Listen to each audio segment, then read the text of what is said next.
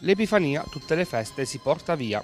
È questa la frase ricorrente che pronunciamo ogni qualvolta le festività natalizie si avviano alla conclusione. Intanto ieri mattina a Loreto Aprutino l'occasione per tanti bambini di fare ancora festa con l'arrivo delle Befane presso il teatro Supercinema prima di riprendere la scuola. La Befana dei bimbi 2020, dal titolo Noi guardiamo il mondo, richiamo alla pace nel mondo e alla solidarietà tra i popoli, è stata organizzata come avviene ormai da anni dall'associazione Splendida Loreto e, ed anche in questa edizione si avvalsa della collaborazione delle classi quarte dell'Istituto Comprensivo di Loreto Aprutino Tito Acerbo con la messa in scena di recite e canti. La mattinata è iniziata con i saluti istituzionali di rito a cui hanno preso parte il sindaco Gabriele Starinieri, l'amministrazione comunale e il presidente della provincia Antonio Zaffiri, il quale ha tenuto a sottolineare come sia estremamente importante non perdere perdere, per tutti, non solo per i più piccoli, queste tradizioni nei paesi dell'entroterra. Poi spazio alle bambine e ragazze della ginnastica ritmica con l'esibizione della scuola Ing Art di Catignano. A far divertire i tantissimi bambini presenti in sala anche il mago Vitamina Ciro, con tantissimi numeri di giocoleria ed equilibrismo. La chiusura affidata alle befane Mirella, Sonia, Emanuela e Davide, che dopo aver ballato sul palco hanno tirato fuori dai loro sacchi tante calze piene di cioccolatine e caramelle. Dispiace non aver visto quest'anno la discesa della Befana in teleferica in piazza nel pomeriggio,